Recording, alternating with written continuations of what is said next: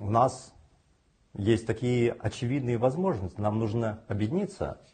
Нам нужно сейчас собрать 60 миллионов евро, и мы на них выплатим 2 миллиарда.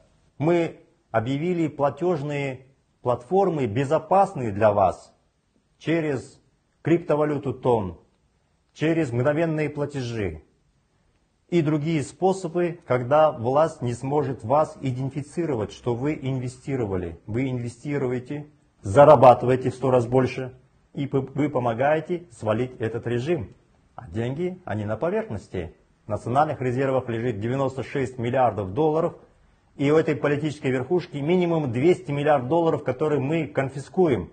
Они нам помогают, подписывают различные договора с европейскими странами.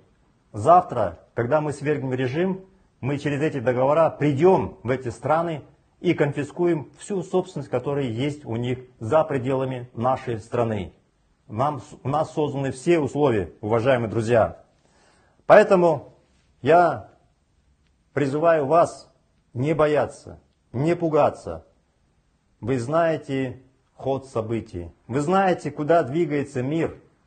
Вы знаете исторические примеры, и вы знаете, что диктаторские режимы неизбежно падают.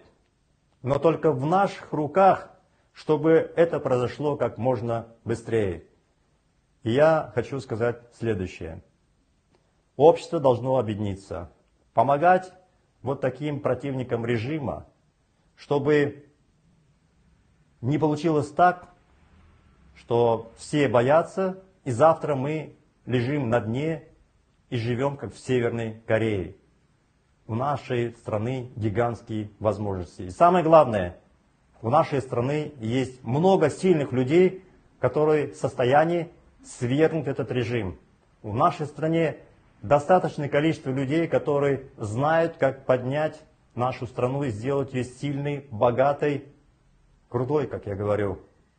Давайте действовать, финансируйте, делайте свой вклад, не бойтесь, действуйте скрытно.